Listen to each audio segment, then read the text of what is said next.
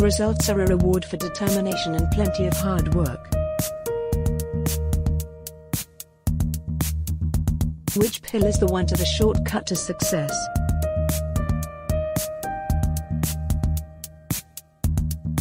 Business growth needs to be nurtured like a young plant.